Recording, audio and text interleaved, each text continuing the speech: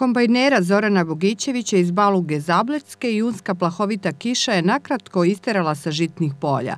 Kako kaže ovaj domaćin koji obrađuje oko 12 hektara svoje i tuđe zemlje, žetva u Čačanskom kraju je počela krajem maja, mnogo ranije nego prethodnih godina.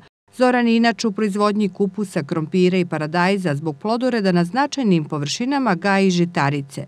Jesenas je pšenicu, ječam i ovac zasejao na približno 4 hektara, a pošto posjeduje celokupnu mehanizaciju, godinama uslužno radi sa mašinama i kombajnira u mnogim čačanskim selima.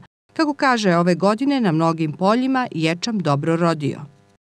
Kada je krenula žetva ovde u Baluzi, možemo reći, pošto vi ne radite samo u Baluzi, radite i u susednim selima, kada je krenula žetva ječma sa desne strane Morave? Pa počela je pre 15 dana. Znači, prihodi su dobri, Znači, nekad je bilo ar džak, ali sad je bacila ar, skoro džak i po ar. Znači, ima dobri njiva. Ja mislim da nije, da je bilo kiše, bilo bi skoro i dva džaka po ar. Koji je to prinos po hektaru, otprilike?